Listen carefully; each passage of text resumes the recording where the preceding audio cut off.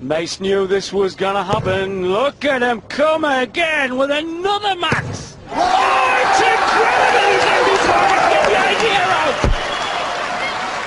This is guarded by numbers. Yes, but the ladies on the same table here. Dave and Ernest.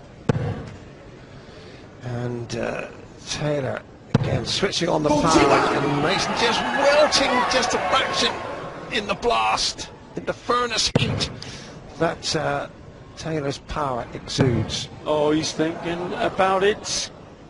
What? He's on it again. He's on the nine darter.